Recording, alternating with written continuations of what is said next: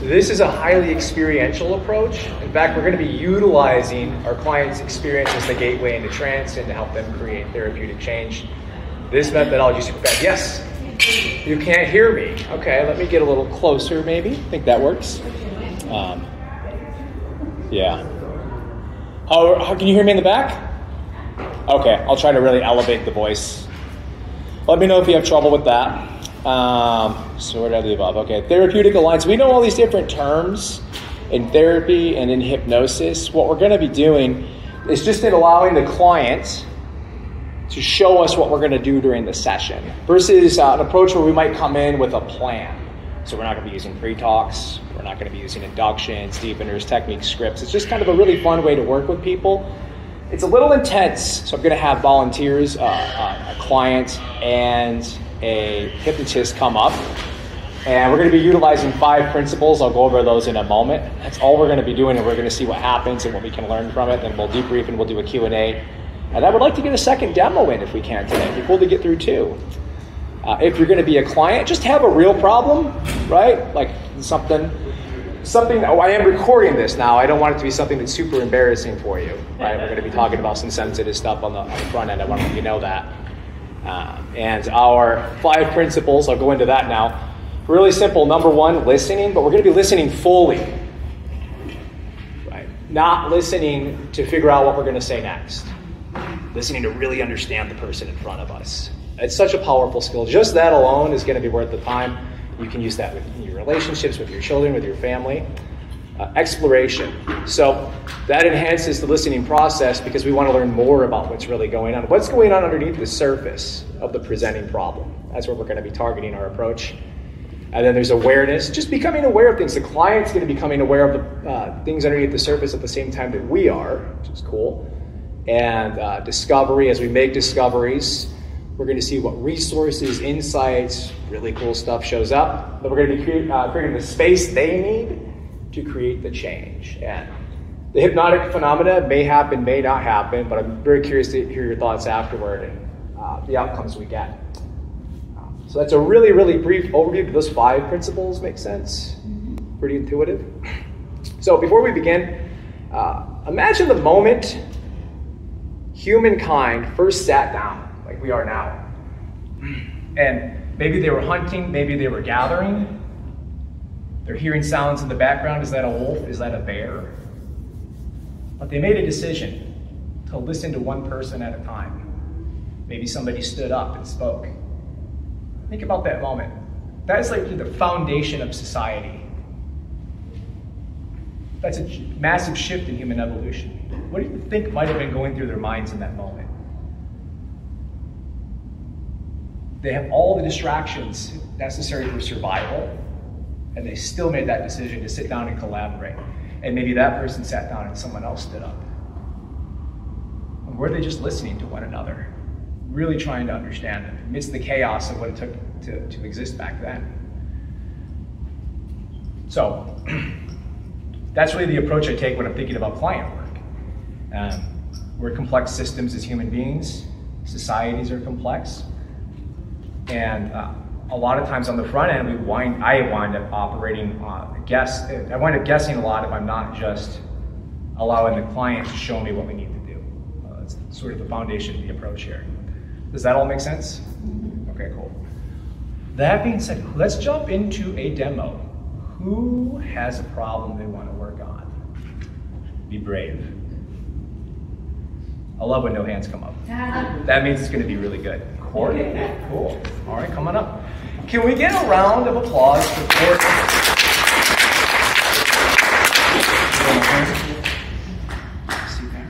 Who wants to be a brave hypnotist? You'll learn way more than anyone else will. There we go. Jan, come on up. Folks, we got to give Jan a hand. Yeah, diving in. I apologize. This is going to be a little bit pedantic at the start. Um, Jan, do you have any idea what Courtney wants to work on? No idea. Yeah. We got to get. We got to start somewhere, right? Yes. Uh, so, what can we do to find out a little bit more? Ask a question. Yeah, I love it. Okay. really simple. So Jan, ask her what she wants to work on. Hi, Courtney. What do you want to work on today?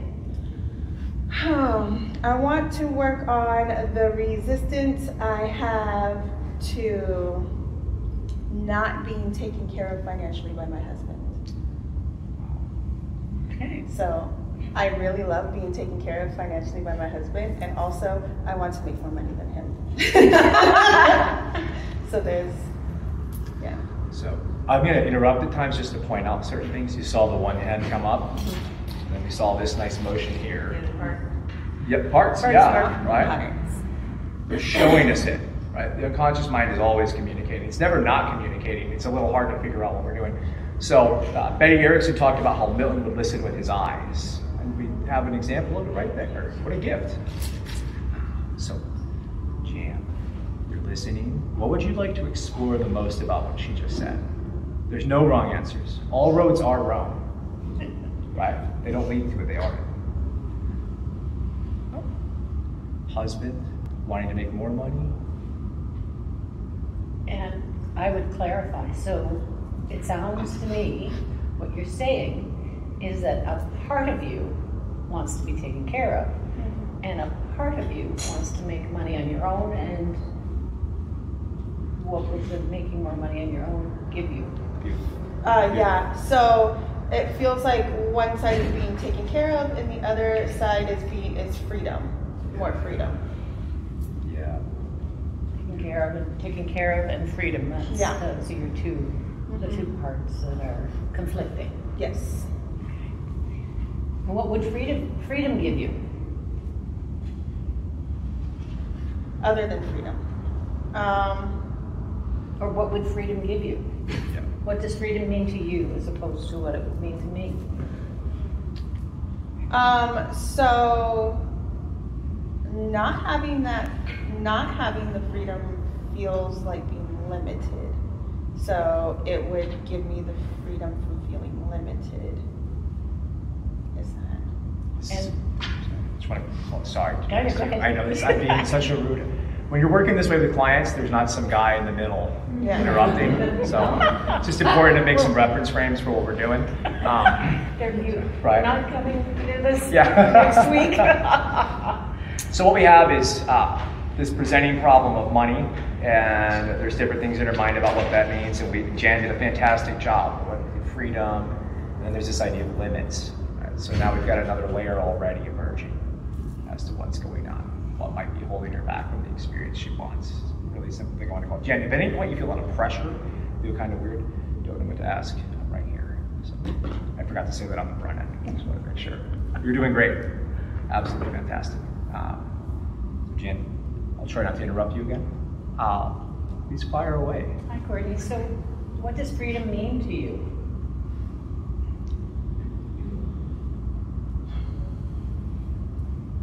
It means so.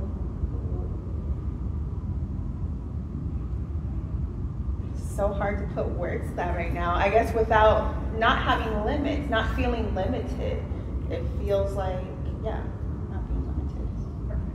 So how do I? Do you want me to say that in a positive? Because I don't know how to say that other than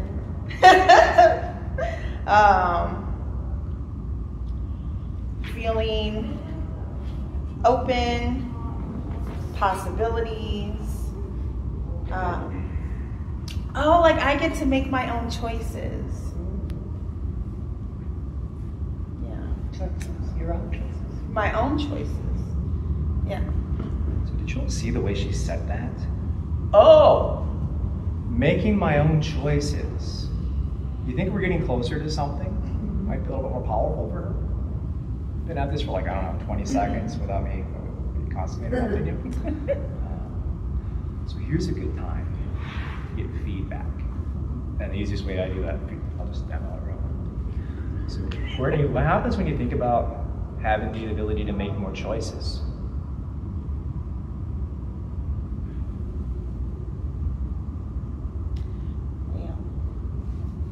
Yeah.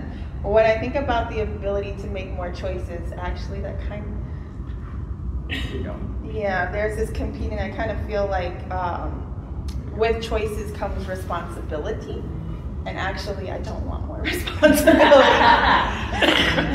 so I want freedom to choose the fun things, but I actually don't want more responsibility. yeah.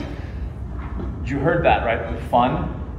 Oh. yeah. Do we have someone in front of us that we have a hunch maybe that she might want more fun? Yeah. And there's a bunch of different ways to have fun. Some cost money, some cost nothing. We could go down that route. There's a bunch. There's a bunch of different ways to approach this. Um, so uh, I'll do one, one more thing. Carry on. It's apparently your class.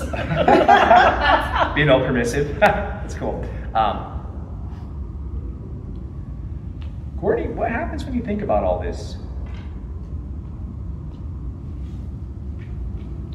I feel confused. Right. Clients are already confused, right? Yes. We don't even need to make a confusion trance. They do it all on their own. Yeah. It's pretty cool. And if we wanted to be more direct, we could use that as an induction here. Where do you notice that confusion? We could put a retention on it. That would be cool. But I don't want to. We don't want to go there just yet. Not too soon, Courtney. um, so, what are you interested in? Confusion or fun? Uh, Fun. What, yeah, cool. what does fun look like to you? How would you like to experience fun? Hmm, that's a good question.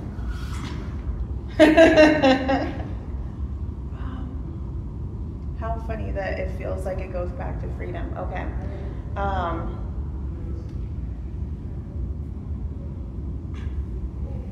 want to be able to choose how I spend my time. So fun means I'm choosing how I'm spending my time and I'm spending my energy. So this is cool. We have a bit of a looping back into something she talked about before.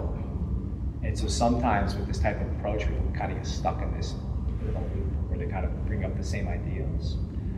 Uh, what I'd like to do in a situation like this, because we're exploring, now we're discovering different layers to what's going on here. Now we just want to try to draw her awareness to all those things. Remember the cool parts she did? A really simple way to do that. Courtney, what's the funnest way that you could also feel free and it be your choice?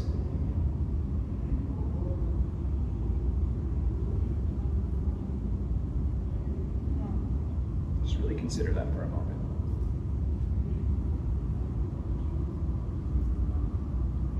The funnest way to feel free and it being my choice. I'm imagining myself making money doing this work and not the other work I've been doing.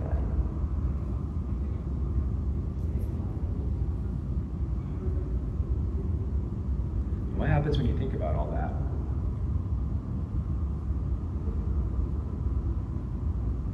There you go. You're amongst friends and you're safe.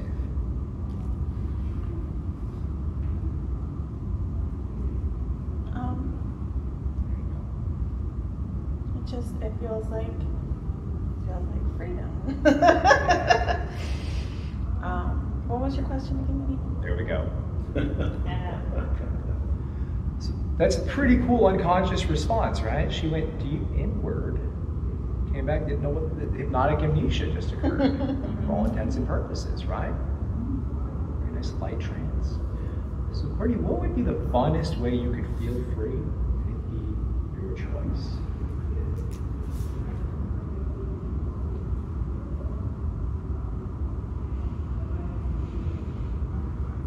Um, yeah, that's. I'm just getting the image of me doing this work, but it feels like like the business has already been set up already, so I'm just showing up and doing the fun part, which is working with people. Working with you. Yeah. Jan, what questions come to mind? Take your time. Are you getting any kind of an interesting insight here or anything you're super curious about that you'd like to learn more about? We're not trying to solve this problem. We just want to create a space for her to learn about it. Questioning the how freedom and the fun relate. Wow. yeah, I think that's great. Let's do that. I didn't hear that. What did you? Sorry, to, how does the freedom and the fun relate together? So Courtney, when you're looking at the most fun way for you to have freedom, how do they relate? How are they connected?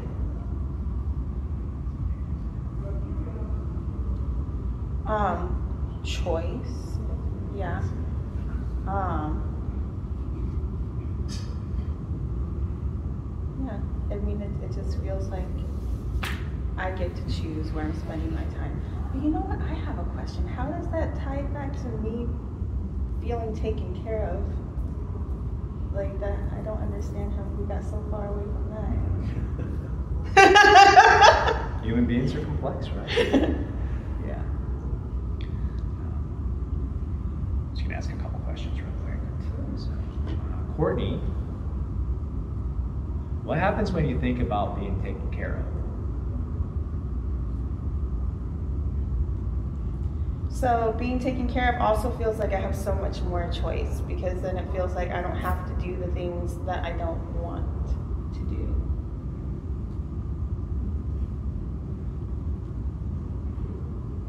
So it feels like um Oh, that felt trippy. I felt that one coming. Um um, it feels like the the distance between between me and the fun is a bunch of things I don't want to do. Right. So if I were to choose to just let my husband take care of me financially, I don't have to do none of the things I don't want to do. But also then, I don't get to do the things I really want to do. That trippy feeling Yeah. you described a moment ago, what was that like? Um. That's Yeah. like oh, like you're going under. Like if you have anesthesia, like that moment that you feel the anesthesia kick in, or that the laughing gas kick in. That's what it felt like. Like time just stretched. Did you know your mind could create that feeling spontaneously? Sure. It must mean something because it came from you. Yeah. And where did you notice that feeling the strongest at? Um, right in front of me. Yeah. Not inside of me, right in front of me. Like almost like I was, yeah. Maybe space stretch too, time and space. I have a question, and it might be a little rude, Uh huh. but I think it's important. And I don't think I would be doing the right thing if I didn't ask it. I could be wrong. Okay. Is there any choice that you just feel you're not willing to make right now? Sure. Yeah. It's just a pause. So I did it because she brought up choice, right? We heard her say choice, choice, choice, choice, choice. That kept coming up. So we just wanted to clarify whatever the hell that means, right? I don't know. Choice can mean a bunch of different things. I have, I have my own presumptions. Those are my presumptions. Yep. I have a question. I, what happened the megasecond before the anesthesia kicked in in front of him? Because I saw the, what happened, but I didn't see what led to it. But it was internal as far as I can tell. No, I secretly. well, he had asked a question about like choice, I think, or, or, or it was, I forget what the question was. But he asked a question. I went in to find it, and then it was a like, like I. That's what I Yes. saw. hmm Told you.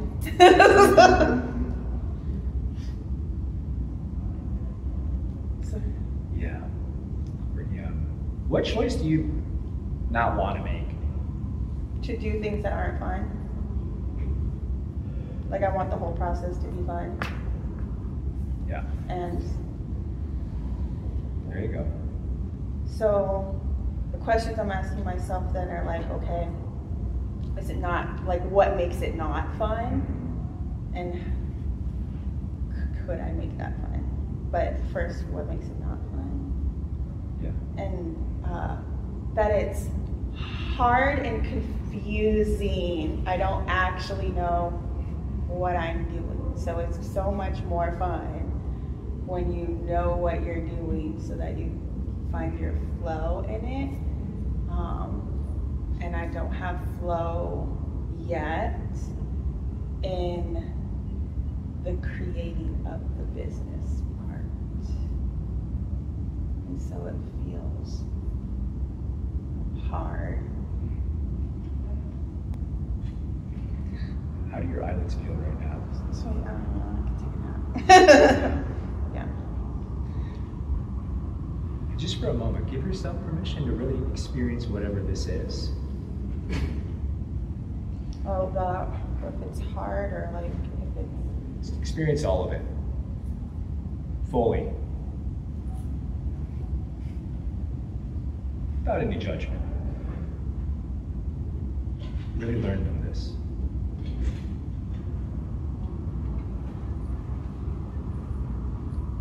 when I tell myself I don't know what I'm doing, like it really sucks the fun out of it.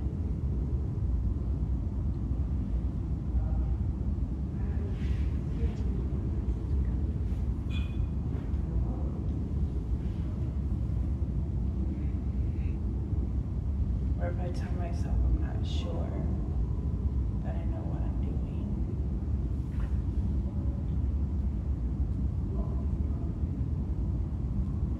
Am I doing it right? How can uncertainty be fun?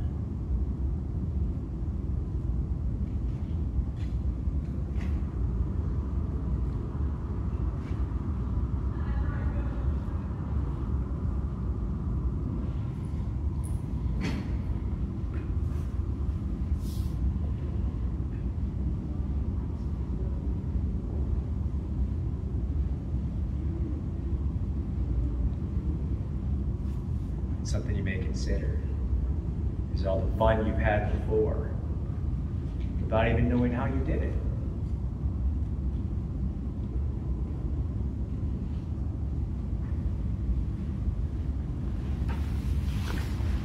Unless, of course, that wouldn't be helpful. To just have fun without knowing how. Because how could you ever know a thing like that?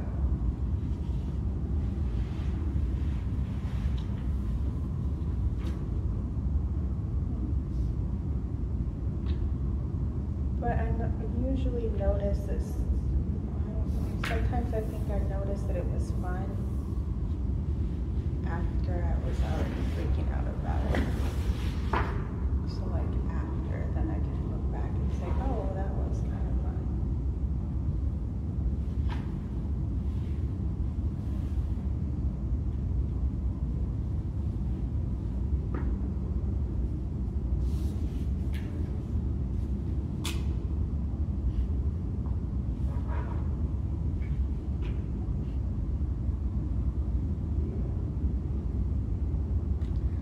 It's when you think about freaking out and having fun.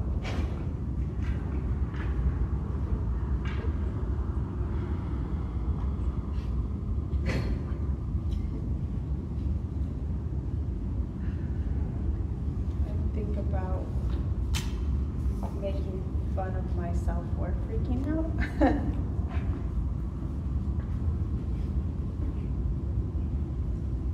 What an interesting choice that is.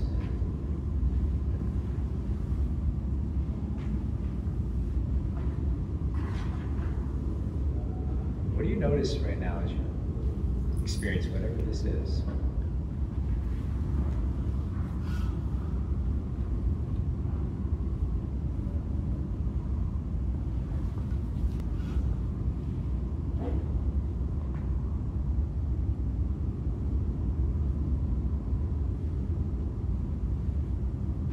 that um,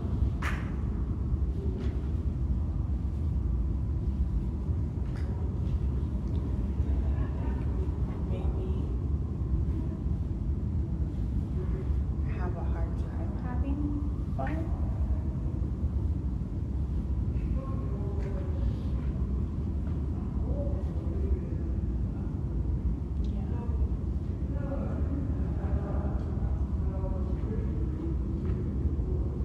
all the time.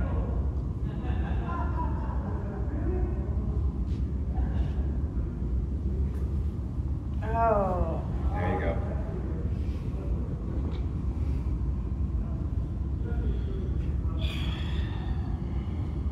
Yeah. It's that emotional state that I think I have to have before I'm allowed to have fun or instead of fun.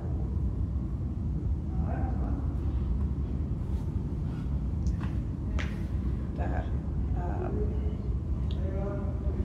overwhelm Like there's certain good feelings that you don't let yourself have.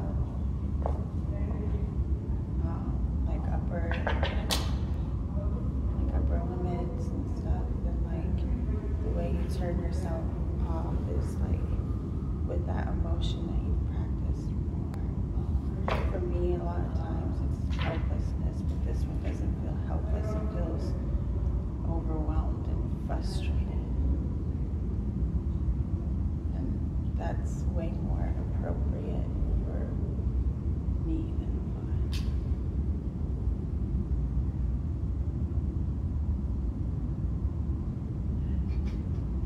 There you go.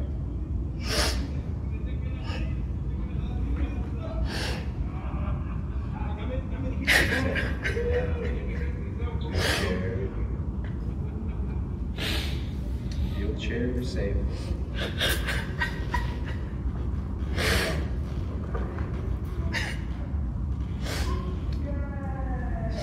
Here comes the emotion. Yeah.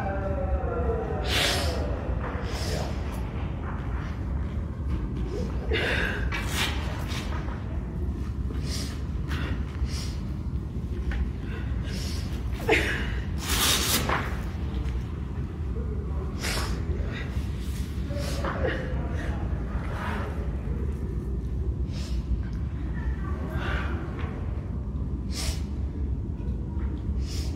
Courtney, a moment ago you said something really interesting. You mentioned feeling what's appropriate. What's appropriate about any of this?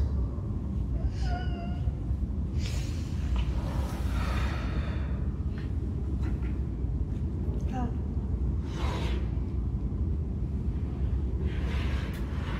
what's appropriate about here? Any of stuff, the, the prerequisite for having fun, like you need to feel the other things. What did you mean by that? Um, so like how like joy is a more vulnerable feeling than Yeah. than a you know a, a, an uncomfortable emotion. And so like the way that we try to protect ourselves is by not allowing us to feel those good feeling good feeling emotions. Or we can only feel them to a certain extent or for a certain period of time. So um, the way that I don't know that it's the way that I've protected myself, but it seems like it could be the way that I've protected myself from disappointment. So, so just take, take your time, everyone. I just want to talk to the class real quick. So she talked about joy and vulnerability, sort of the relationship between these things. And so uh, there's a, uh, when she wants to feel joy, that feels very vulnerable to her. And then she talked about maybe that's a protection mechanism. There's a lot of discovery happening right now. Um, I'm to ask you, Jan, anything you're curious about with that? Anything you're wondering about with that? Is there anything else she wants to tell us? Is there anything else that's relevant? Because of all the ahas you've already, all the information you've already been able to put together. Um, just that I would love to to be able to feel fun, feel experience fun. Uh, the creation process of my business. So we tie that back to vulnerability, joy. Oh shit. So try not to say it out loud.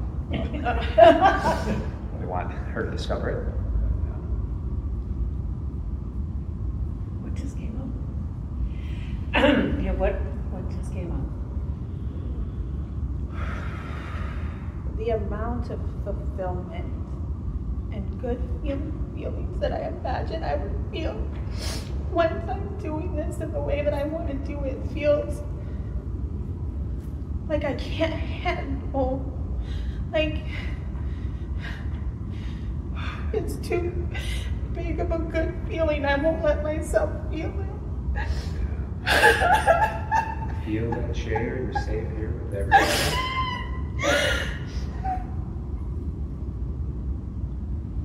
like like like we we love to have our dreams right we love to have like this vision but we stop ourselves from doing that because in the process of like taking action you you lose the fantasy of it or that's not exactly what i mean um, like where do you go from there like if, if you're feeling that good like oh it's only down it, it can only go like something bad has to happen after that or like i don't know Yeah. You're afraid of it going down? i'm afraid of feeling really good Yeah. And why is that? because yeah because then something bad happens Could it be worse than not achieving the things you want to achieve? yeah Yeah. How would that happen? to achieve it and then to lose it Yeah. um, that devastation is bigger than not having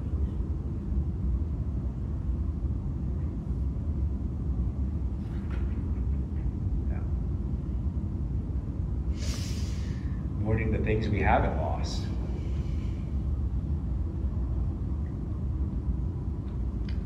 Haven't even had the opportunity to lose those things yet.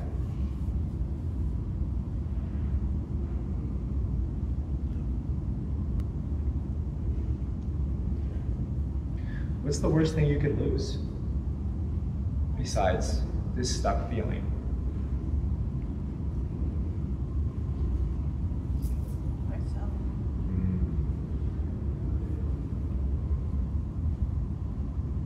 oh god Yeah.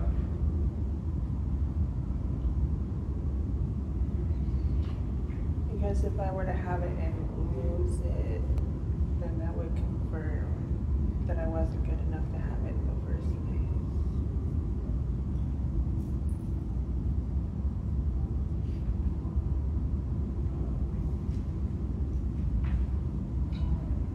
What's it feel like to express that?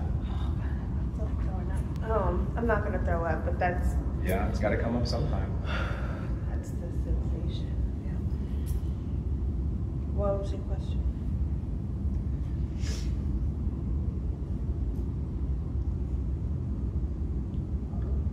What's the worst part about losing yourself?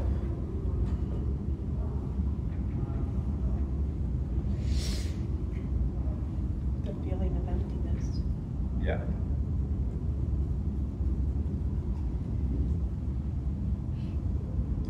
And what's it like to confront that feeling? Hmm.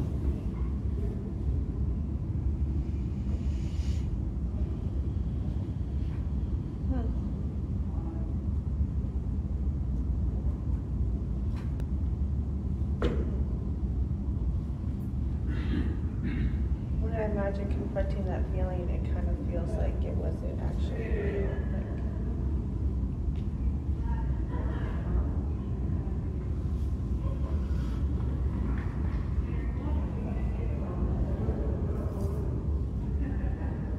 Like, like, like it, there's emptiness, and then there's me when I confront it, and there's the emptiness goes away.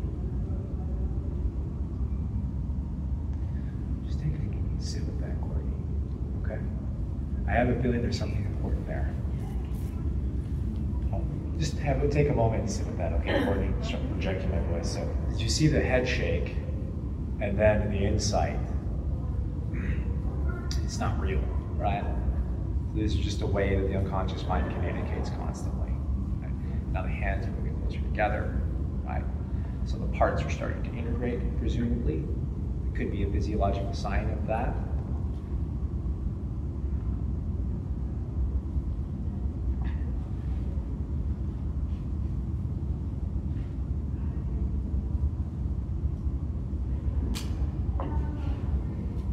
Hey Now when you think about all the fun you want to have, knowing that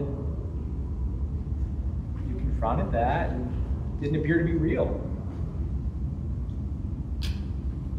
Um, well, right now I'm imagining myself doing like the creating of the business part, and then and hold on, I want to associate and do that. Take your time. What I call the infinite model approach. So she's, it sounds like kind of like a timeline thing's happening or something right now. We've had parts where it show up and all these interesting things spontaneously emerge. And she's doing it all though. We're just learning, just listening, exploring, becoming aware, discovering.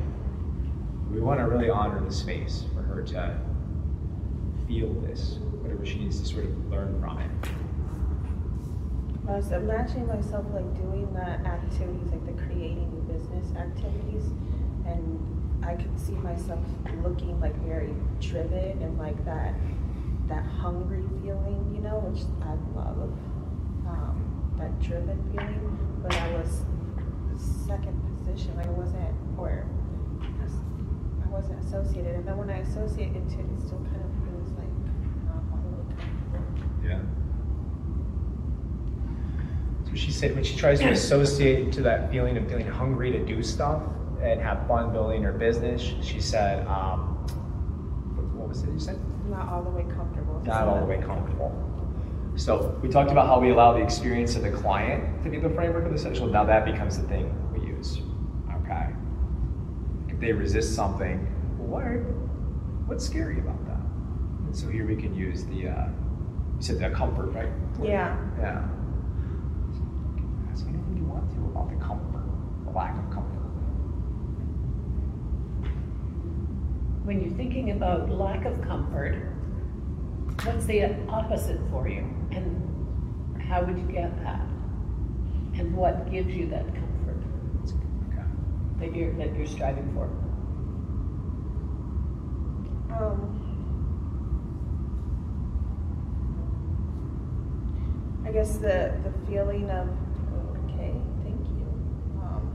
Because the, the feeling of not being all the way comfortable is happening right here in my gut. And then as I started talking about it, it was like Yeah.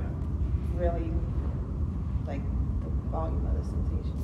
Um, anyway, um, um, I want, I, I guess, I want to be certain that the things that I am doing, like those activities that are creating the business, are ones that are going to actually be helpful. Like the the discomfort, I think, is about uncertainty and like, am I wasting my time? I even doing this right? When you think about doing something that isn't right, how does that go in with the comfort? Well, I can do things that aren't right when the outcome isn't. When the when the goal is to just have fun, it doesn't matter if things are done right or not. But if there's a goal that has to be met, that is more like, you know, monetary, um, then it feels like I can't afford to not do things right. And what would happen if, if you failed and you monetarily slipped for a bit.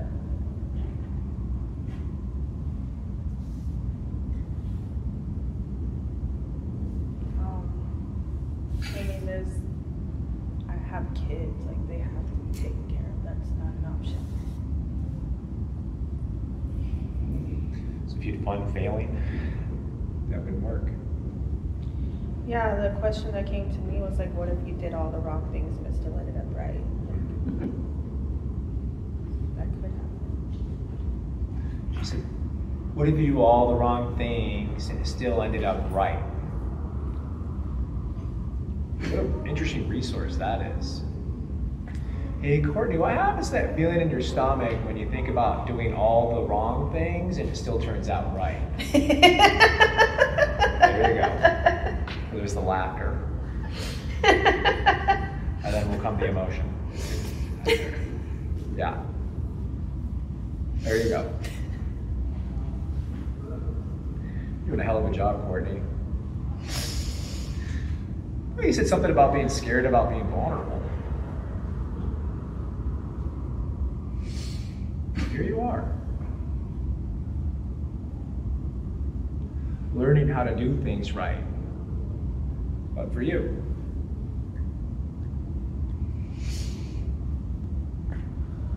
There you go.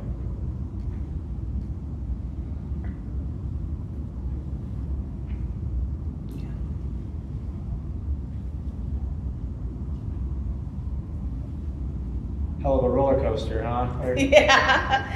gonna open a theme park, guys. We're gonna.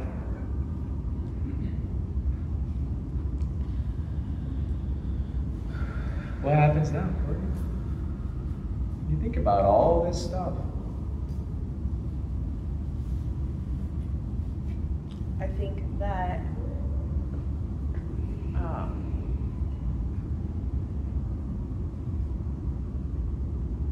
I think that having that belief that I can do all the wrong things and still they can still turn out right is a is a belief that I really like because I can't control really the outcome of anything Yeah. anyway. I'm not the one who's in control. Um, so that feels like a belief that I'd like to move forward. Yeah. Say it, say it again louder, sir. Oh, s- yeah, sorry guys, it's hard to project. You're doing a hell of a job. Trance, um, what did I say? Asking the wrong guy. I don't remember what I said. um, that's, that feels like a belief that I'd like to um, carry forward. yeah. Is being able to do all of the wrong things and still have it work out right. Yeah.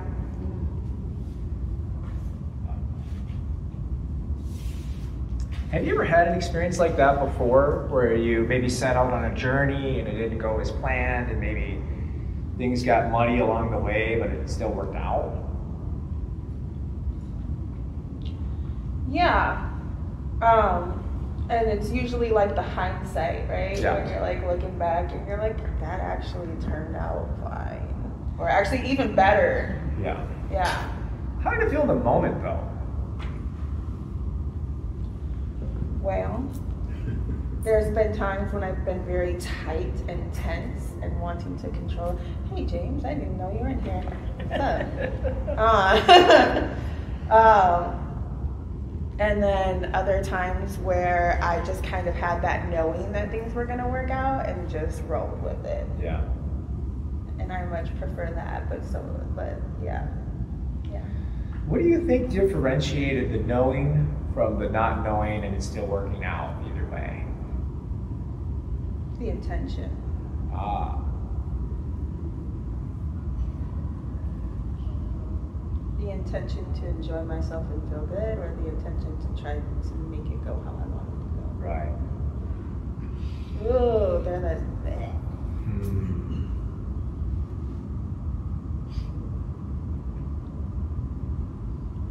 Are there other areas in your life where that uh, that intention? Oh, that's the feeling like when I become aware of something and I don't like it, and I'm, I'm ready Yeah. to get my, I feel like a nausea kind of feeling, Yeah. just for like a second. Yeah. Okay. What makes you most nauseous about all that? Um, the intention to control. Yeah. I really don't enjoy that at all. How does it feel here when you think about control? Okay, now we're okay. um, tight and and even like poison kind of.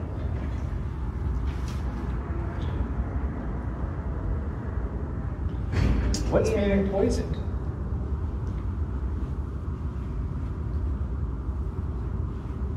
My happiness, because that's where serotonin Yeah. Oh, okay. I didn't know that. I swear the people I work with are smarter than me. They know all this stuff. She That's- said that's where the serotonin is, Yeah. is being created. So when she tries to control, poisons her happiness. Yeah. And if there were a cure for that poison that you can take and cure that bellyache, is surrender.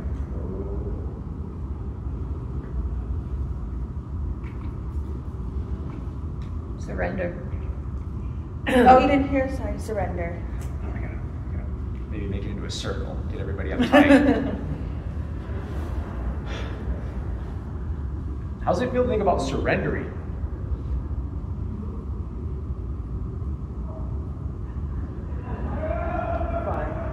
Fun.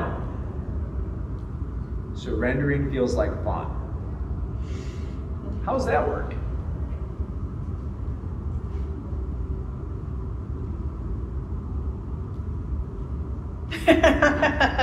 um, because then I'm not making the choices that I don't want to make. Yeah. Yeah. I'm just being taken care of. That's cool.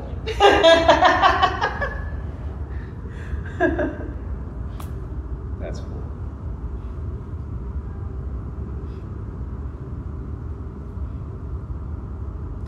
So what happens now, Courtney, when you think about all the cool things you discovered, and when you think about moving towards your goals, having fun? it feels like oh, it feels like fun. Yeah, it feels like fun. How's your belly feel? Bubbly. Bubbly. Bubbly belly, filled with fun bubbles, right? Do hmm. those bubbles burst? Yeah, it's like they're carrying like it like it needs to be released. Like it's Yeah. yeah. So I'll probably burp a whole lot or something like that later.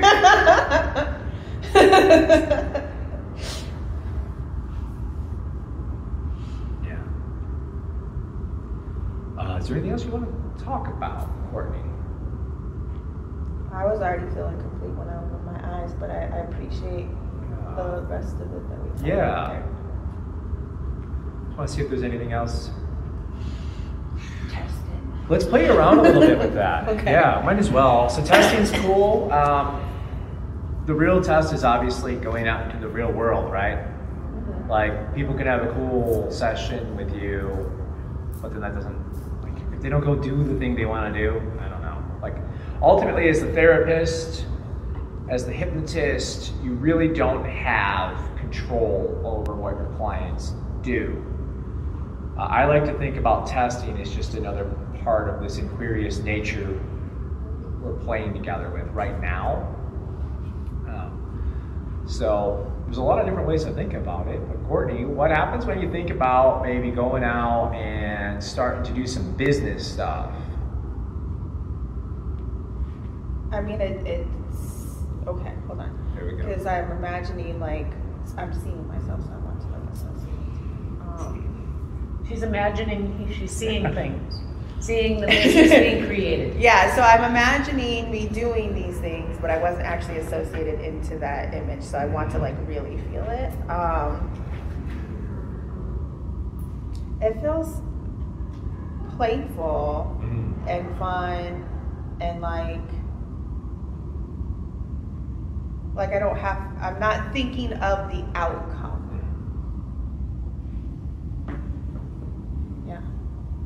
Playful without the outcome. I like that. Um, but what if things are going terrible? Mm. Make a video, nobody looks at it. Oh. bunch of jerky comments. Or jerk face jerks, I mean humans that we want to help. Kind of.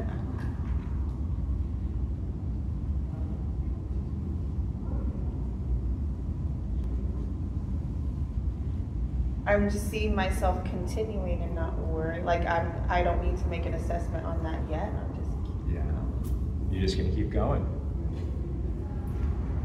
So the metaphor, for my logo is the path, right? For my clinic, it's all about the path. We just take one step on the journey. That's all that really exists, right? Is the path. Yeah. How the hell can you ever know where that's gonna go? I don't know. I didn't know I was gonna be here five years ago, hanging out with you cool people. Crazy. It was fun though. Yeah. Yeah. Um. Okay. What about? Um, gosh. I'm trying to think of obstacles you might encounter. Oh, Courtney, what if you wake up one day and you just kind of feel low energy and you don't feel like playing? Hmm. So I'm seeing myself in my bed with my laptop. The resources, right? That's something Hormozi talks about, right? We just roll out of bed. She's building the archetype she needs right now to be successful under any condition. I didn't do any of this. Pretty cool. Uh, what if money gets tight? I mean, when, I mean, it's already tight. Yeah, right? So.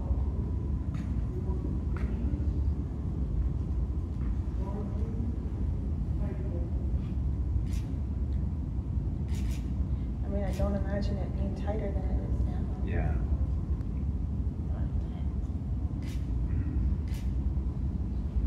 Is that going to make it so you can't play and have fun doing the things you want to do? Thank you for asking that. Yeah, it kind of feels like maybe it would.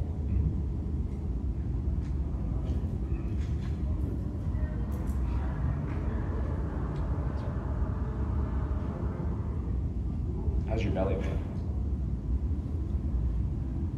Little tight. Yeah.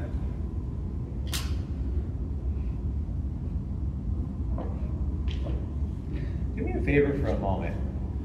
You just on that tight feeling in your belly for a moment.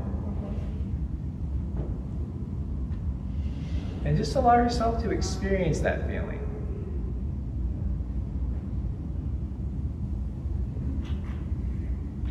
What do you notice? Take your time. But don't judge it.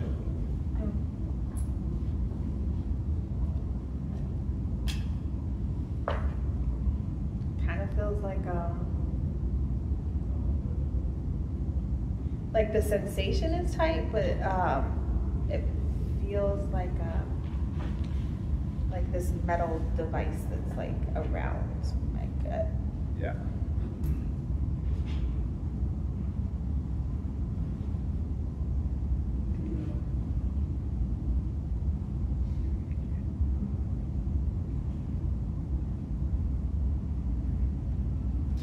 Just notice that metal device around your gut. Just really feel that. Become aware of it.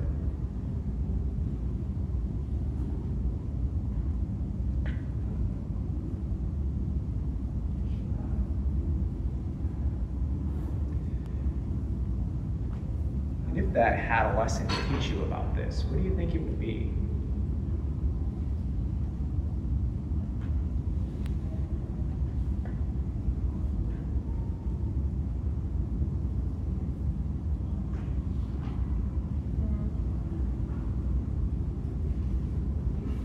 The metal device from my gut had a lesson. to teach. Yeah.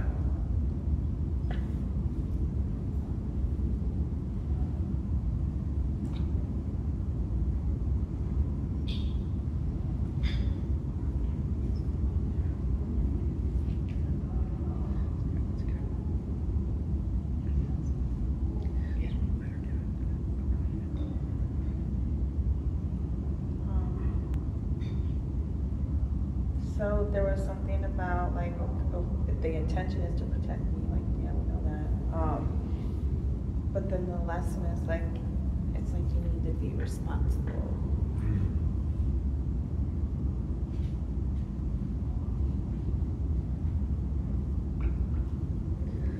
So she said uh, the lesson is that I need to be responsible.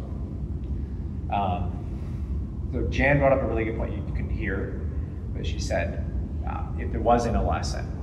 Um, so that's a, you can utilize if there's a not an answer, if there's not an experience, you go, so do you really need it then? Right? You can explore that. Um, but if there's a sense of responsibility that came up for you, what do you suppose is the most important way you can feel more responsible? Actions you can take, things you can do? Does anything come to mind when you think about being responsible? Yeah, so response, being responsible has come up a lot. Um, Yeah. Before I couldn't, like, I couldn't have fun because responsibility and fun it couldn't go together. Um, but that's, it doesn't feel like that's what's happening now. It's like, um, cause cause fun is my responsibility. Um,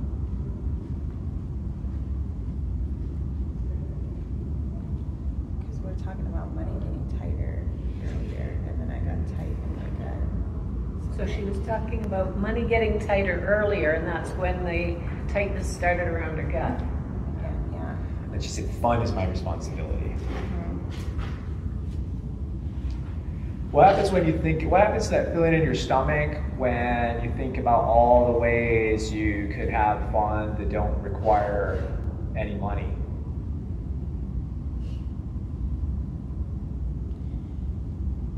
Um, so we were talking about like money being tight earlier, and then it felt like, because we were, and then, um, then it felt like, oh, now I can't have fun in my business because, um,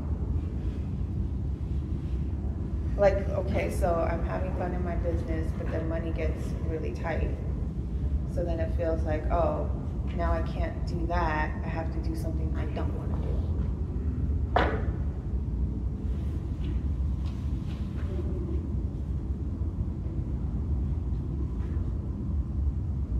Because if I'm focusing all of my energy and my time in my business and that's really fun, but it's not bringing in the money, then it feels like, oh, now I have to do something else.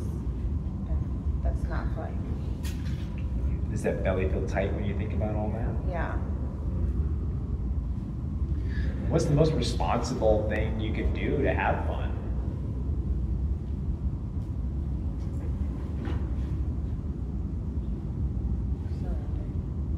Surrender. And what specifically are you surrendering? Control. Control. How does one surrender control? Um, by being present, saying yes to your current experience. Right.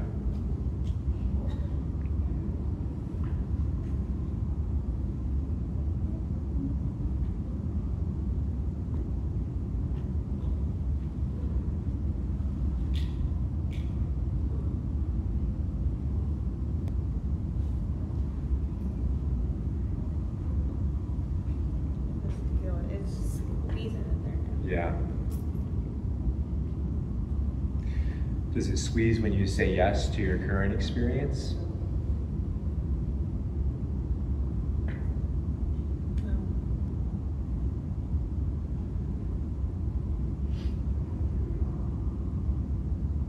What other experience could you have of the one that you're having?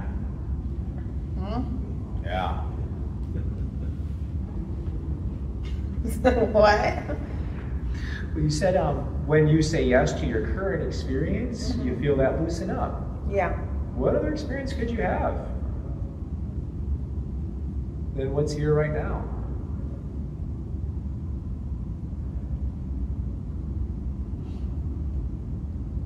Um,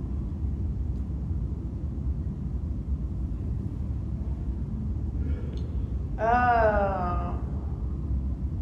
I see what that's about. It's squeezing when I'm trying to control the outcome. Why would it do that? Well, when control is, is tight, right? Yeah. Yeah. It's interesting though, control can be tight, but why would it squeeze? To let me know to loosen up. Holy moly. She said to let me know to loosen up. up. To relax, let go. Because it was that when it started squeezing, it was when you had asked me like, "What if money gets really, really tight?" And I'm like, Mhm. "Oh no, not that! I don't want to have to Yeah. not do something I don't want to do." And I didn't ask you those questions because I was there when I started my clinic. Just so you know. Because what? I didn't ask you those questions because I wasn't there when I started my clinic. Oh, you mean they're like emotionally? Yeah. Like, holy shit, I gotta pay bills. Uh, yeah. kids need shoes. Fuck. You know? Yeah, yeah, yeah. Gotta get clients, leave Jen. I don't want to do it. I won't sleep. Fuck it. Let's go. That's the way I went. It's a nightmare.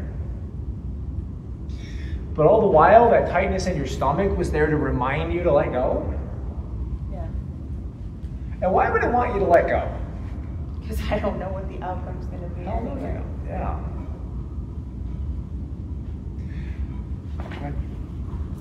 How can you best remember how to let go? Well, I think my gut's going to tell me. Is Built it- right in. Yeah. How painful is that? How much does it have to hurt for you to? Oh, it doesn't have to hurt. Okay. I just feel the squeezing, and then I know, oh yeah, that's my unconscious saying, chill the fuck out. Let go. And bring it to your attention. Oh yeah, yeah, because that yeah, we, we And- got that relationship. Perfect. Thank you. So you can see like an integration. You can see the parts. They were kind of disparately connected. There was tension between them. We didn't do parts working like a traditional approach, but she knew how to do that, right? She kind of figured out her mind. We just had to get this space for her to sort of explore all the things going around, and slowly the thing that was causing her a lot of discomfort become, became the method for her to create comfort while she's facing challenges. That's kind of cool, right? The thing that's a problem can become a solution. That's why I love this resources. method. Yeah, it's kind of fun. Um, so just eh, what? Any other things you want to go over? Tear this thing apart, have some fun, have a conversation with everybody here. Sound cool? oh, wait, what? Is there anything else you want to talk about? Sorry. Nah, nah. Asked like nah. eight questions at once and none of them made sense. Uh, yikes. I talk for a living. Um,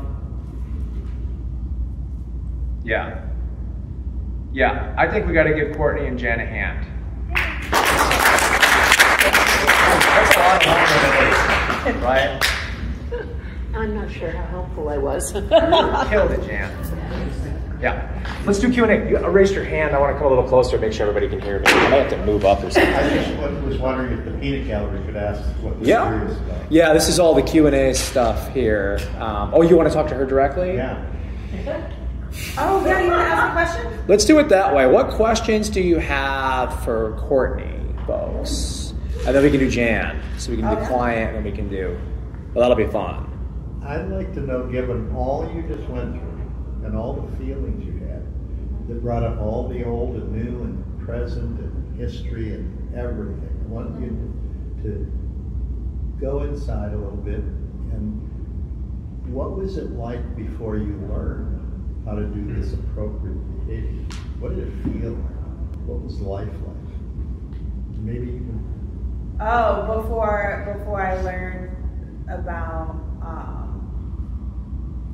all like those joy things. and freedom being like uncomfortable. All those things. All, Um, all of it. Probably carefree and playful, I would imagine. Yeah. How does that feel? I mean, like that's probably what life should be more like. That's cool. So, Paul, I think your question was basically, uh, what, what was it before? What was like before the problem sort of happened? You didn't my, that my thinking is, when I have somebody with a phobia, Mhm. you didn't always have that. What was it like before? Yeah. And what led you there kind of thing? Cool. And so, because you can unlearn what you can learn. Okay, I appreciate that. I just want to make sure I'm getting it on the recording. And then Courtney said joyful and playful and more fun. Basically, it sounded Yeah. like it was a better experience. And that's how it should be done or something. Yeah. That's yeah, how that- it should be. I feel like yeah, life probably should be more like that. Not for me, but like for everybody. Like just like That's a fun way to experience it. What other questions uh, for Courtney, folks? Yep. Okay, when we first started, her question was about her husband, Yep. and we didn't cover any of that. Yeah. Oh no, yeah, about feeling taken care of. But my unconscious is taking care of me because it's letting me know when I'm trying to control the outcome and when I need to let go. That was really good. So, just for the recording, the question was: we didn't talk about the husband as much, and we did. We did bring that up, and then that was the that was like kind of like a watershed moment where we looped back into the other part. Remember how she did the thing with the hands? And once we we did all this work over here, and then we looked at that, and all we had to do was glance, and you actually did it yourself. You're like, but what about the? And it was just uh, yeah, right. Yeah. Um, so we just kind of brought it back. Um, but that's a really good question because we didn't give that a lot of attention. That was a, a bit of a choice I sort of wanted to make because I can't control whether a client lights up another cigarette. How the hell can I control what their husband or spouse is going to do? But if we can bulletproof the client, right? And we did some kind of rigorous testing, like we saw some stuff come up afterward. Uh, I think they have a better chance of getting out there and having a more productive, happy experience in life. Though there's things we could do to sort of maybe try to address that, like, so what if he's doing this or that behavior, and what would you, you know, we could play with it that way. But I think uh, I, the idea of organic hypnosis, it's coming from the client. I kind of want to put my attention there. But that's, that's a good instinct too. And that might be something you could check or you could work through. It's fine. They, they all would go to the same place eventually, I think. Uh, this just seemed like a little bit more direct. Uh, that's kind of my thinking on it. Um, really good question. That's awesome. Thank you for, that's the kind of stuff. So what other questions for Courtney? Yeah don't know, this isn't a question per se, but it's something that came up for me because I feel that in life in general and with clients, as they're describing kind of taking these steps in life, Yeah. they have this confusion around, I don't know, either I have a fear of success or a fear of failure. yeah. And when you were going through what you were going through, I kind of had this little aha moment because it was, well, if I do succeed, I can potentially fail and lose it all and that would feel worse, at least at the Yeah. moment Yeah. right? Than not even trying. And so, as they try to realize is it a fear failure or fear of success, well, I don't know. Let's find out. It kind of made me feel like they're intertwined, right? And I kind of that's where I was like, oh, Yeah. It's both because you could succeed and then fail, and not only you would feel Yeah. so much worse potentially And so until you really look at it. So I just kind of wanted to bring that up. I don't know Yeah. if anyone has more to add about that. Yeah. So, sort of, uh, one of the things that was brought up just now was uh, this idea of the fear of success or fear of failure. And an audience member mentioned she sees this with clients and kind of recognized it. It's the two side. What is it? Two sides of the same coin. I don't. I Yeah, suck with metaphors. I don't. Yeah, both sides of the coin. What, yeah, they're kind of the same, right? But it's all just in fear in a way, right? Um, and I think it did tie really elegantly to, in this case, to Courtney's experience of control. I don't want to go for it and get the joy because then the joy might go away. And it's like, that's a trap. And we talked about mourning the losses that haven't even occurred yet. I'm terrible with this. Like, I'm like, what if something happens to my kids? Yeah. And like, holy shit. Like, the, like let it happen and then deal with it, right? Because that's all you can do. Like, it's just something I think humans, we just have a tendency to do, right? Um, so I think it's a really powerful thing to notice. It's just that fear. Um, but then what I think is cool is uh, the control and like the, the the way the unconscious mind is giving you that tightness in the stomach wound up being the indicator that we need to let go. It's cool, right? The thing that's the problem becomes the solution. What the hell is that? Like, I think that's kind of fun. Yeah, what, what, uh, what else? Anybody want to uh, piggyback off of that or had any kind of realizations about how things are kind of interconnected in a way? Yeah, go, James. Have you had any, using this approach, have you had any resistant clients who kind of just get stuck and won't Um, change? Yeah. Um, but what we do is we I start to utilize that then. So uh, so okay. So for the recording, James asked, uh, "Have you ever had a client kind of get stuck in a loop?" And we, we kind of had that in the beginning, right? It was it was like we're talking about this theme, and this theme came up. So uh, then we decided to utilize that. I don't remember what we did. I'll have to watch the recording, but uh, I just kind of used that. Let me give it. Let me think of an example. Uh, so recently, one of my students had a situation like that, and there was just that the resistance was actually more outright. And so now, well, we can just leverage that. So, do you ever feel like you're trying to create change and there's a lot of resistance coming up for you? What's the most important thing you need to resist? What's that coming from? Where, where's that coming from? Right? We just want to start to explore that now. So whatever comes up in front of us, we want to explore it. If it's a looping situation, I can't remember how we pierced that, but that was the break. I have to go back. I, Yeah. apologies, I don't. I'm like really in the moment when I'm working with people, so I don't remember anything time. Like I said that, that was pretty good. You know? Holy hell! it shocked me. Uh, um, yeah, apologize, Jane. We'll, we'll get that though. I'll, I'll take a look. Um, yeah. So, uh, any other types of questions for Courtney, maybe unrelated to this sort of line? of inquiry? Yeah, ahead, Paul. Yeah, do you have uh, any experience with working with hypnotists versus Yeah. folks that, that, that I- how they respond to all this? Yeah, I don't work. It's better with not hypnotists, right? 'Cause they know all my bullshit tricks, and they're like, "Well, I shouldn't say that." They know all my tricky little things I do, right? Or like if there's like a parts work thing, like she, you could hear her like I'm associated, disassociated. They're just more, um, I think, open to the experience because they don't have those sort of metaphors in their mind that they're using to sort of help them navigate. I find that they, it's more experiential for non-hypnotists. Yeah, And the me other too. one is more designer or something. Yeah, you said that better. Paul said it like um, it's more experiential for non-hypnotists, and that's what we're doing, right? So we're using experience, the nature of the client's experience. That's how we're we're using that for the framework of the session. That's a really well said. The whole point is to get their trust enough for them to experience the change they Yeah. need, not for you to Yeah. do whatever you're doing. Yeah, and then they get scared, right? Like so, Paul said the whole point is to get them to experience what they need.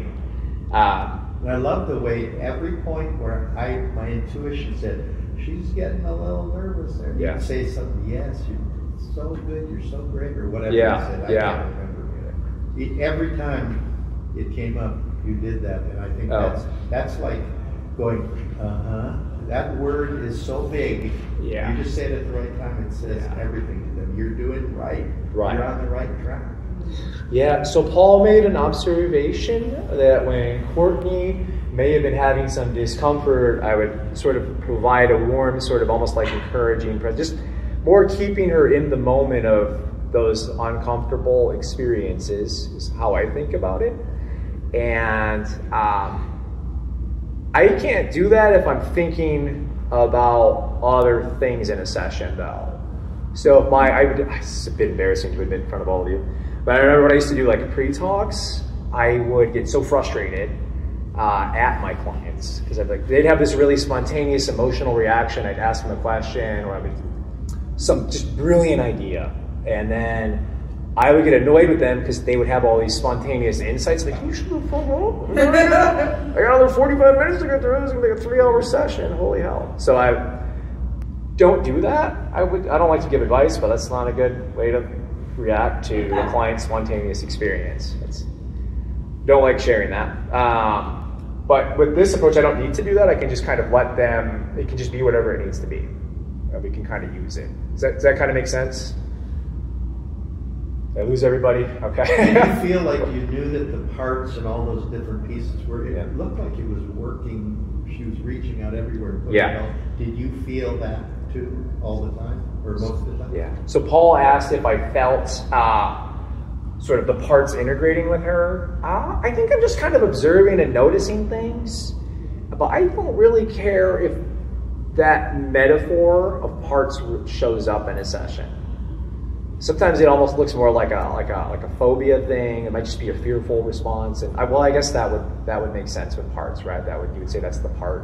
Um, to me, all these things converge, though. Even uh, when I was using scripts, if you think about scripts, there's like metaphors of parts within them, right? You might be doing a smoking cessation session and might be like, yeah, you're gonna sh- mow down those cigarettes with an Uzi if it's someone that like Rambo movies and that was their hero archetype. But like that's just the part of them that's doing that, and then there's the enemy part, right, and all the other emotional responses that come up. And but any kind of a script, if you think about it, there's elements and themes of parts that are being triggered within the framework of that story.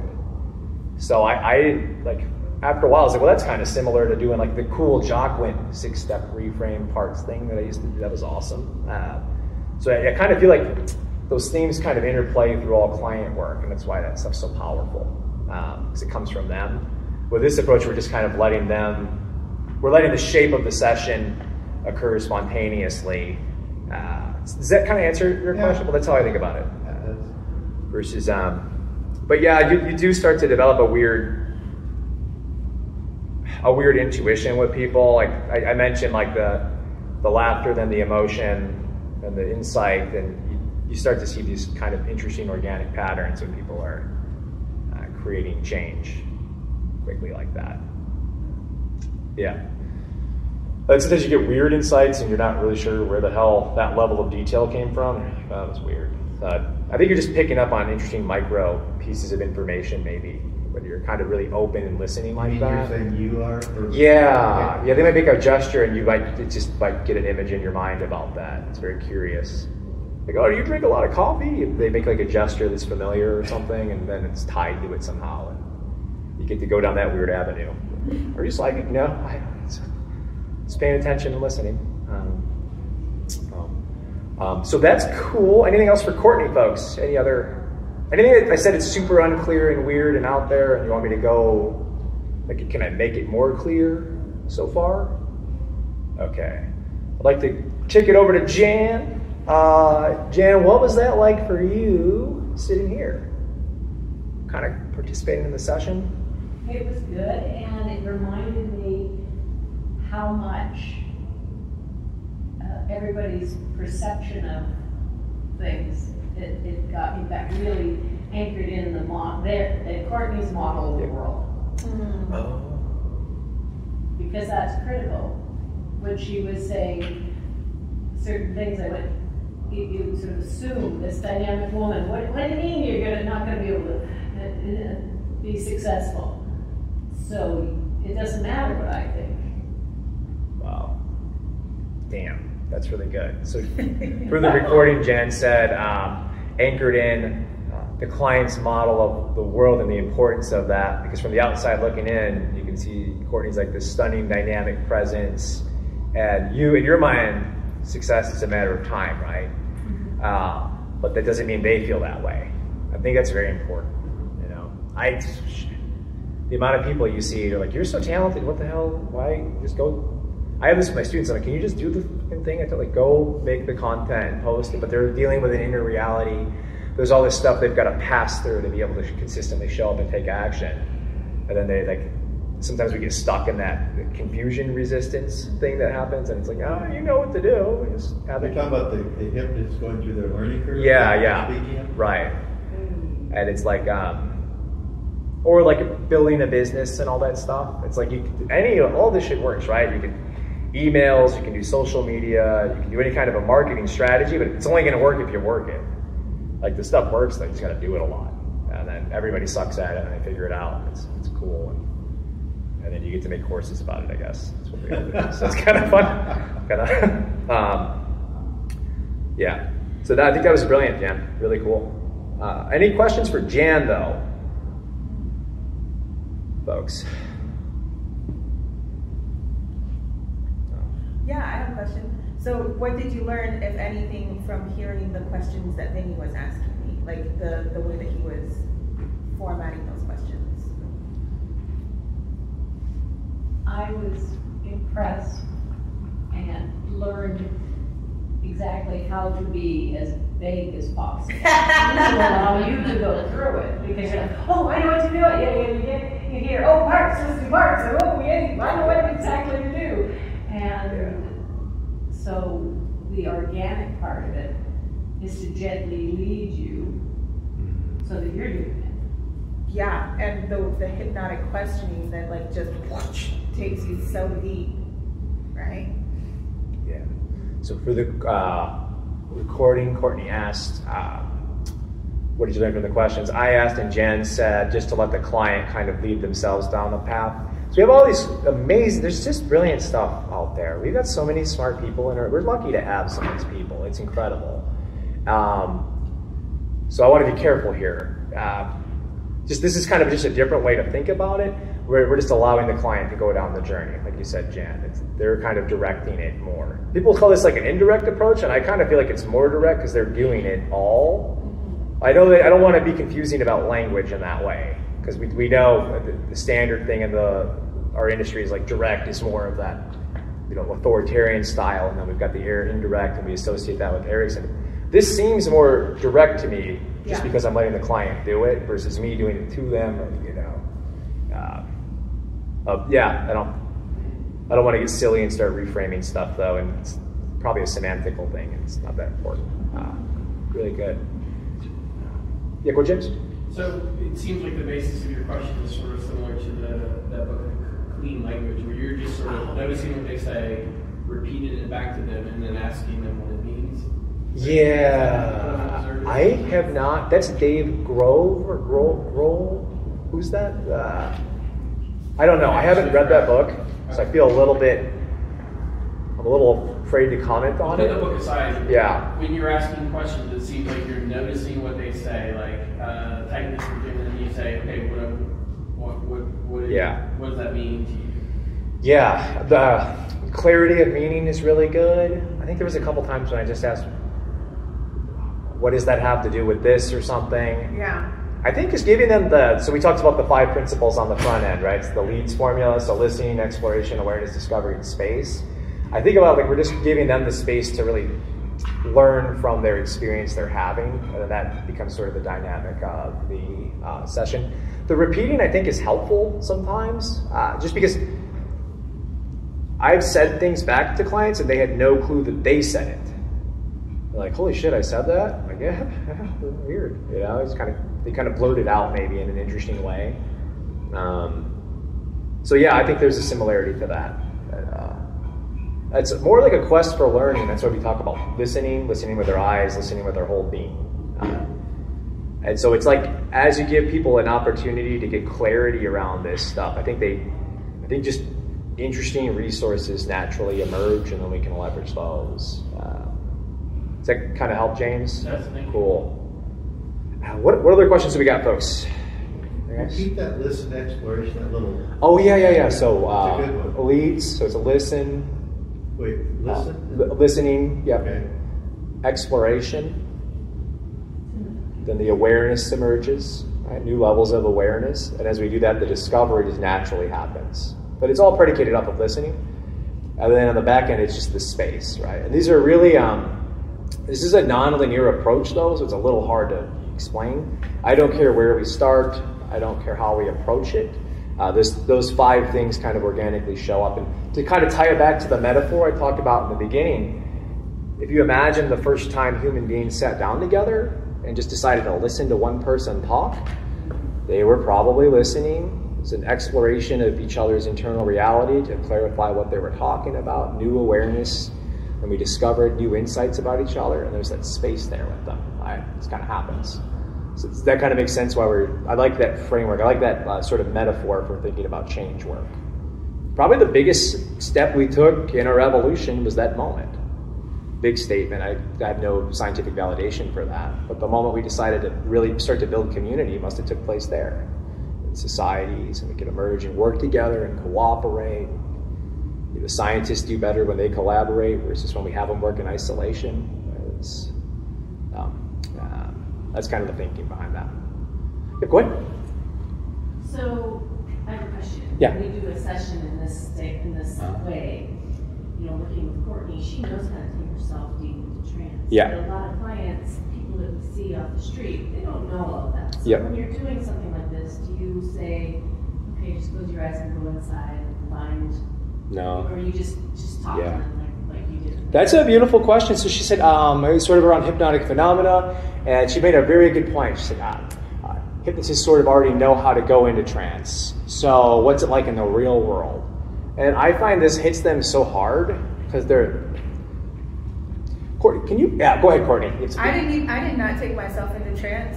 His Yeah. questions. Yeah. The, he, he's a listener Right. problems, and that's taking me. And like I felt the trance happening, but I was not at Yeah. all. Right, but we practice trance every day. Yeah. Yeah. You know what I'm saying? And we get better and better with each time. And Yeah. so it's a response that we come that we have. And sometimes clients can be so wound up and they just they just That- they start to go, Why are you asking me all these questions? Yeah, I like that. That's such a good. Uh, so, so just for the recording, uh, so uh, hypnotists already know how to go into trance, and then uh, what if a client's really wind up, wound up, and like, what are you doing, right? Why are you asking? So, so, so to be completely honest, if I'm not doing a demo, I would have asked like four questions, and then the session would have been like probably I don't know. I can't predict it. To be completely honest, the it would have been like statement? 12 minutes. You know, I probably would have asked like four things. I wanted to respect her because I was trying to give Jan some time to kind of get the experience this too. Um, but but uh, if you have a client that comes in and they're really wound up, just utilize that, right? Just use utilize. So I, I I'm noticing you seem a bit frustrated or like you just seem a bit wound up. What's going on with that?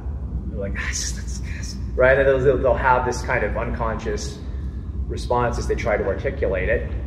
And they go, well, what is that? Uh, let them kind of experience that now, and that can be your gateway into trance. So you can kind of just use whatever. Um, so that makes sense. It's easier if we, maybe that'll come up if we do another demo and we can kind of play with it. Um, yeah, it just doesn't matter. I didn't understand, you just asked four questions in your whole session. Sometimes it's fast, sometimes it's that fast, right? I can't really When you predict get it. to the paid, paid Yeah. Yeah, it just doesn't, the, the, the it's actually faster, I find, um, than what you saw here typically.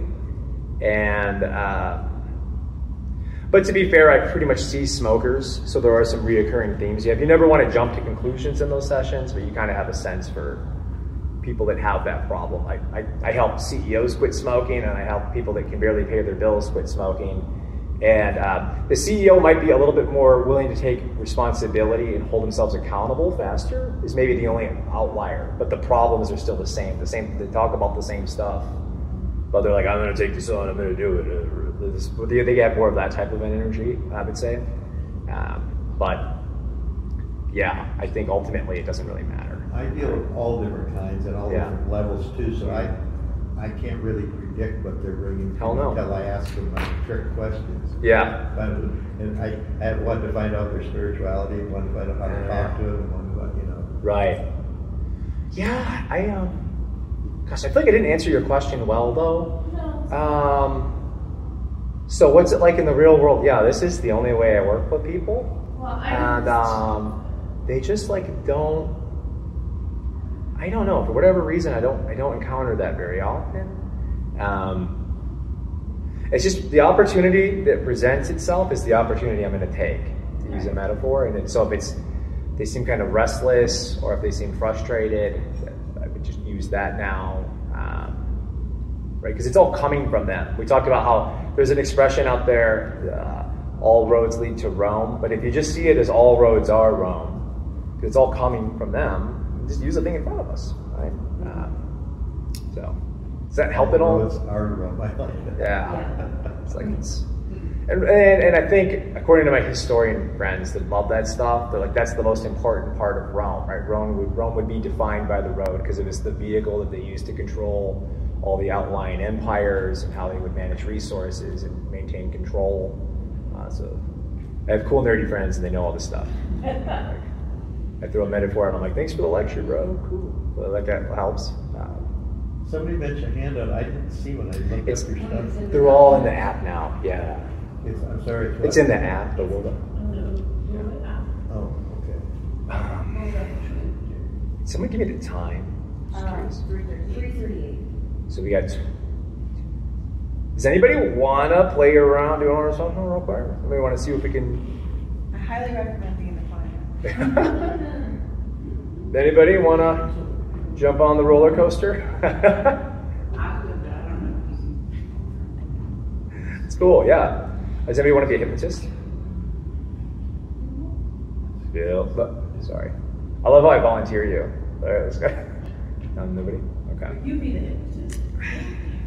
That's It's boring for you, but. It's cool. I get. To, I feel like I just. I almost felt bad when. Um, yeah, when that like, I learned like something about when they said like anything about Vinny being cool when I'm doing this. And like, I, I really want to give an opportunity for other people to learn. I guess, but I got a lot of stuff up online though. If you want to see me doing this stuff with people, it's really cool. And, you know, party and see how I do it. But since you've got another 22 minutes with me here, would anybody like to jump into the hot seat? Super brave. Okay, I won't twist your arm. Um, I'd like a restroom break and I'll do something. yeah, that sounds cool. All right, I don't know how much time we have left though. Ten minutes. Okay. Yeah. Sure. Hmm. Yeah, I didn't want to cut that short because it's such like an authentic, genuine response. You know, uh, I was like, do I like? I was gonna show a couple things and then back off and then do a Q and A, but you just went there so, so vulnerably. So I thought that was. Did we get something out of that? Did we learn? Oh, folks? yeah. yeah. Yeah. Hell of a job, Courtney. Mhm. Um, I didn't see the start of the session, but I noticed that uh, obviously there was a point where she was at threshold and there was something happened and a lot of emotions came up. Do you consider that an ab reaction, or is it a release of it? I wasn't sure. I wasn't sure. Uh, I've had several of those at this point, and uh, one time I asked a lady, "What happens when you think about never smoking again?" It's the first question I asked her, and she just a massive panic attack in front of me. I was like, "Holy shit!" you know. Um, but once she was done experiencing, I just sat like you saw when she was kind of being a bit emotional. I just kind of grounded her, you know, feel the chair. You're here, you're safe, you're amongst friends. Kind of bringing her back to that, giving some, uh, I guess, comfort. Uh, once they're through the other side of that, I'm convinced most of the work is done. The conscious mind just hasn't caught up yet. The unconscious mind's already had a powerful experience, but then it's got to integrate. Uh, She had several though, Yeah. and Can you just kept going and going. Yeah. Is there a point where you feel intuitively that I'm done, she's good? Yeah, that's a really good question. I'll, I want to come back to that. It's really good, Paul. Courtney, what were you going to say? Yeah, I was gonna say, so there's Diane. So I, I had a session with Diane and I had like a really big emotional response like that. And I said, I called it an ab reaction. It was like, no, if it were an ab reaction, you wouldn't have remembered it.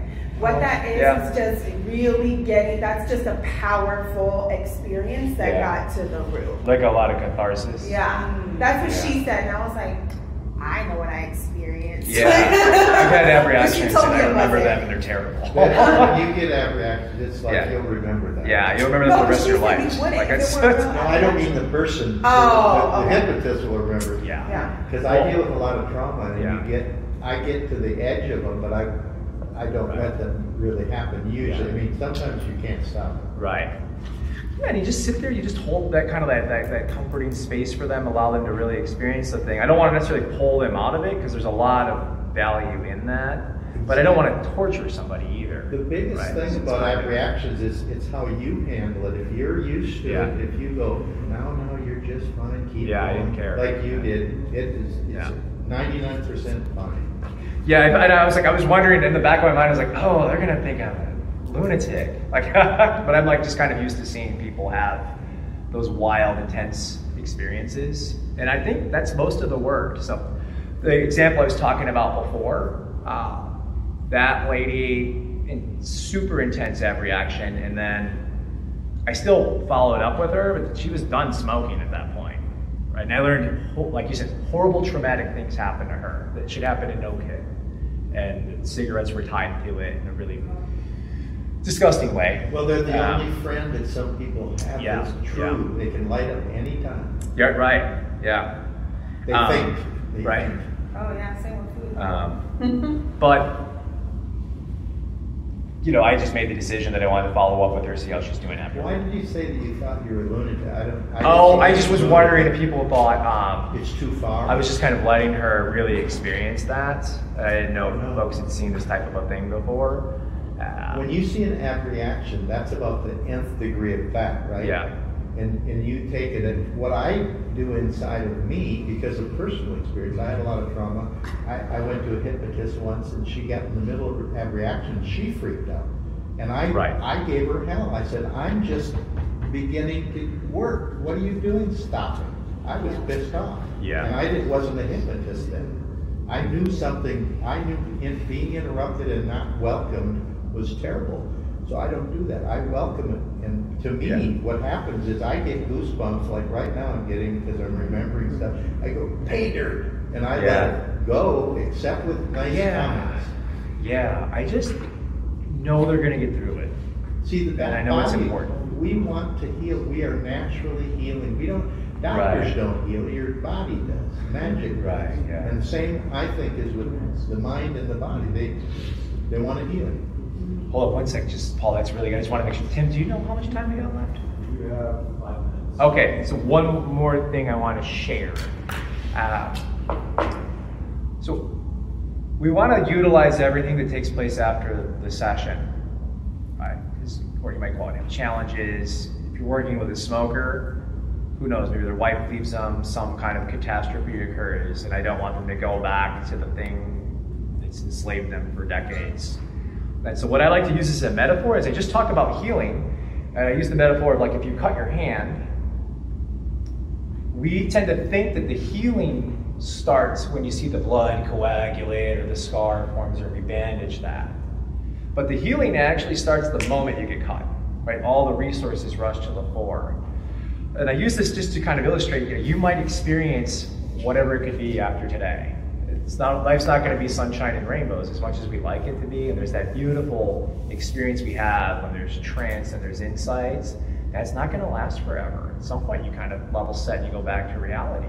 So what I like to say is, doesn't matter what happens from. That's just your body healing. That's just your mind sorting this out. I don't care if, you, if it's a smoker. I don't care if you have cravings, whatever that is. Just understand that's your body figuring out how to solve this. It's your body actually detoxing and getting rid of this. So now we're just giving them that opportunity to leverage the things that would have been problems, and they can say to themselves, you know what? This is great. I feel like shit, you know, but I'm fixing this problem right now. Versus, uh, I'm feeling uncomfortable. I need to call Vinny. I don't want that because I can't. I can't do these things for them. I want to help them uh, develop whatever they need to to, to, to, to solve the problem. The, the leads for me, the idea is that optimal leadership helps leaders develop other leaders. That's the idea. That's the highest form of leadership. So it's uh, not me being a champion and looking heroic and being awesome. It's more like I want them to them to be their own source of healing. I want their mind to do it. Uh, so does that kind of make sense? I think they call it transference or something like that in psychology. I don't want I want to escape that.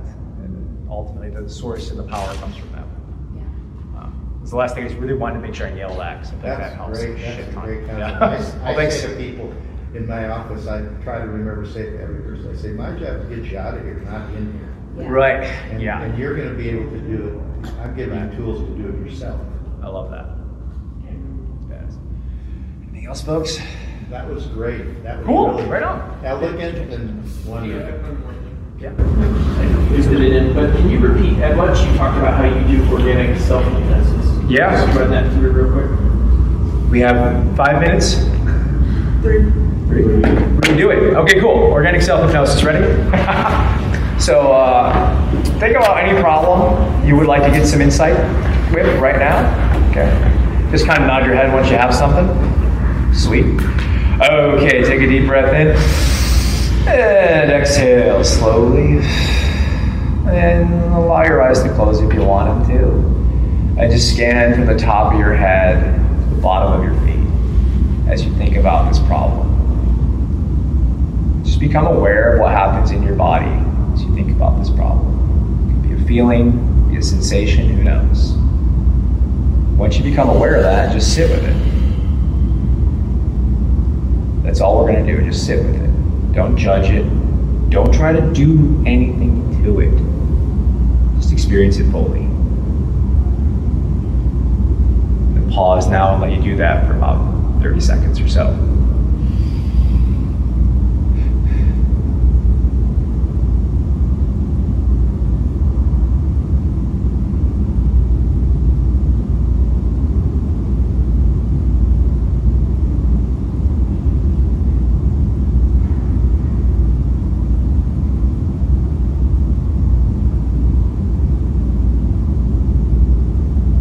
All right. What did you notice, folks? I love that. That- Everything got bigger. Yeah. It was like you put it in a container to look at it from outside. Mm-hmm. Right. Anybody else want to share anything? Something get worse, better? Just some Peace, yeah. Tim's got a nice yawn going. I love that. that's it, though, right? James, that's kind of the approach. I come back and I do that a couple times.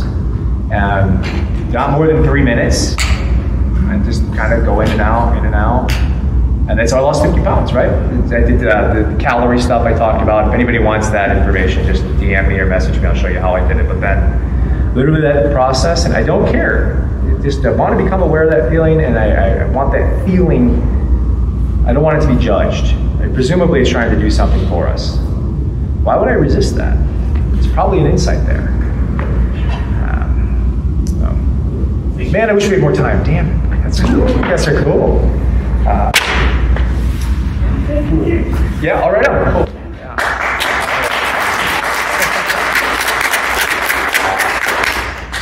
Well, that's nice. Okay.